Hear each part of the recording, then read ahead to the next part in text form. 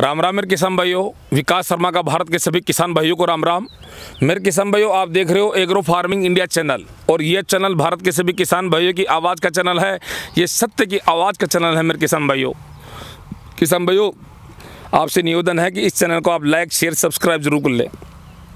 आज हम बात करने वाले हैं खेती बाड़ी की। खेती बाड़ी के अंदर विषय रहेगा कि गर्मी के मौसम के अंदर, गर्मी के मौसम के अंदर खीरे की फ़सल किस तरह से करी जाती है।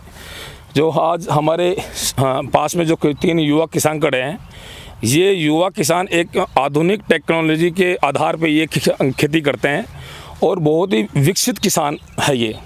राजस्थान जयपुर से हैं ये किसान। तो सबसे पहले ये जो खेत देख रहे हो आप ये खीरे की फ़सल है। ये देख लीजिए अप्रैल का महीना चल रहा है और टेम्परेचर बहुत ही राजस्थान के अंदर अभी 40 के आसपास टेम्परेचर है। और ये देख लीजिए 40 से ऊपर टेम्परेचर मांग के चलिए 40 बयालीस। परंतु इस टेम्परेचर के अंदर भी किसान भाइयों ने ये देख लीजिए किस तरह से खीरे की फ़सल कर रहे हैं। और इसी प्रकार से मैं किसान भाइयों से भी मिलाता हूँ। आपका नाम? विनोद यादव। इन आ, इनका नाम पहले भी इनका वीडियो बनाया है। इनका नाम विनोद यादव है। और आपका? प्रधान। प्रधान जी है। इनका नाम पद नहीं है इनका नाम नाम है इनका प्रधान। अगर आपके भी घर में को कोई आ, बच्चा जन्म ले रहा है तो उसका नाम सरपंच रख दीजिए। ये मुख्यमंत्री वो अवश्य रखें। इसीलिए इनके पिताजी को प्रधान नाम अच्छा लगा तो प्रधान नाम इसलिए रखा गया है। मैं मज़ाक कर रहा हूँ थोड़ा मेरे किसान भाइयों। और आपका नाम? सुरेश यादव। सुरेश यादव। ये तीनों किसानों का जो तकनीक है मेरे को बहुत ही अच्छी लगी। और ये समय समय पे थोड़ा बहुत गाइडलाइन मेरे से भी लेते रहते हैं। तो आप ये देख लीजिए सबसे पहले बात कराते हैं। कि विनोद जी ये कौन से महीने में लगाई थी ये खीरे की फ़सल ये सर दस फरवरी के दिन लगाई है। अच्छा ये जो टीन सी लगाई है साइड के अंदर ये देखो टीन सी भी ये ये दस फरवरी को लगाई थी। साइड में ये टीन सी लगा रखी है साइड के अंदर इन्होंने खीरे लगा रखे हैं। हम्म। और आज समय क्या हो गया? आज पच्चीस अप्रैल। पच्चीस अप्रैल दो हज़ार बीस। दो हज़ार बीस। हम्म। तो ये खीरे की फ़सल आप गर्मी के अंदर किस तरह से किन किन बातों को ध्यान रखते हो आप?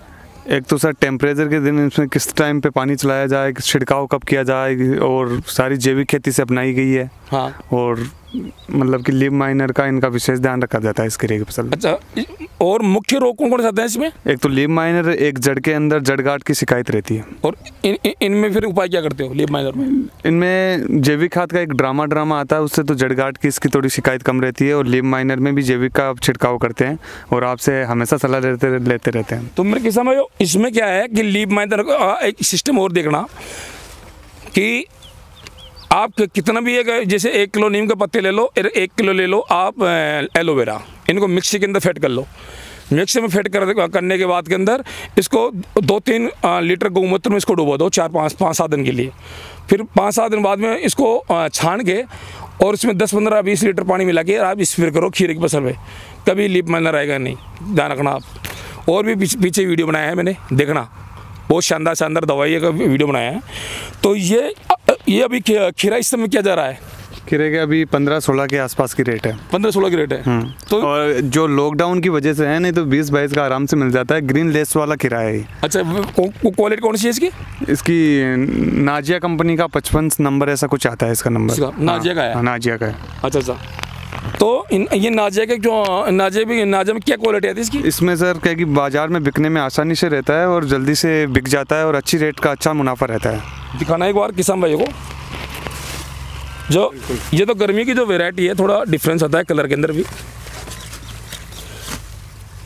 तो तापमान की वजह से हो जाता है थोड़ा बहुत। हाँ। और मेरे किसान भाइयों अगर इस तरह का अगर आपके पास ये टेढ़ा खीरा हो रहा है तो ध्यान रखना आप होमिक एसिड का विशेष प्रकार से ध्यान रखें और बोरोन की तरफ़ ध्यान ध्यान दें और एमिनो एसिड की तरफ़ भी ध्यान दें। ये अगर टेढ़े खीरे हो रहे हैं तो। और हमने बहुत काफ़ी सुधार करी करी है इस फ़सल के अंदर। तो ये हमने बता दिया है। और दूसरी बात बताए विकल्प क्या है कि इसके अंदर नमी चाहिए, जो खीरे की फ़सल है। तो क्या है हाई टेम्परेचर के अंदर इसके फ्लोर जड़ने की शिकायत रहती है। तो हो सके उतना खुला पानी भी एक बार चलाएँ, बेड़ों के बीच बीच के अंदर जिसका टेम्परेचर थोड़ा अनुकूल रहे।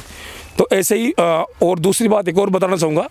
इनकी जो विनोद जी की जो टेक्निकल है, वो देखो साइड के अंदर इन्होंने हजारे फूल लगा रखे। और हजारे के फूल इसलिए लगा रखे हैं कि जो तितली वगैरह है तो इस खीरे की फ़सल पे ना बैठे और खीरे की फ़सल पे ना बैठ के और फूल पे बैठ जाए, जो हज़ारे के फूल पे बैठ जाती है, जिससे क्या है कि ये काणे लूले, लंगड़े कम होते हैं और ख़राब कम होते हैं ये। और इनकी जो तकनीक है एक स्पेशल देखिए, हजारे की फ़सल लगा रखी है, हजारे की फ़सल के पास में जो देख रहे हो, आप फूल देख रहे हो, वाइट वाइट कलर के फूल, ये घिया की फ़सल लगा रखी है घिया की फ़सल के पास के अंदर फिर है खीरा खीरे की फ़सल और खीरे की फ़सल के पास में फिर लगा रखी है टेंसी। ये देखिए साइड के अंदर टेंसी है। तो ये मिश्रित खेती करते हैं थोड़ी थोड़ी सभी सब्ज़ियाँ लगा के लगाते हैं। हमेशा इनकी ये खासियत देखा मैंने कि थोड़ी थोड़ी सब्ज़ियाँ लगाते हैं। थोड़ी थोड़ी सब्ज़ियाँ मतलब किसी न किसी सब्ज़ी का भाव ज़रूर रहेगा। तो ये बहुत ही सोच समझ के मोटा मुनाफा कमाते हैं। इसलिए तो आज का भारत का जो युवा किसान है, वो धीरे धीरे जागृत हो रहा है और जैविक खेती की तरफ़ धीरे धीरे आकर्षित भी हो रहा है। तो मेरा सुझाव यही है कि जैसे विनोद जी खेती कर रहे हैं तो इनका एक बार- कॉपी करिए, कॉपी करके खेती करिए, आपको फ़ायदा ज़रूर मिलेगा। तो धन्यवाद मेरे किसान भाइयों। अगला वीडियो फिर मैं आप लोगों के लिए लेकर आऊँगा। आप मेरे इस वीडियो को लाइक करें, शेयर करें, सब्सक्राइब करें, बगल में जो बेल घंटी है, उसको भी आप ज़रूर दबाएँ, जिससे मेरे नए नए कृषि संबंधी वीडियो आप तक आसानी से पहुँचे। जय जवान, जय किसान, वंदे मातरम।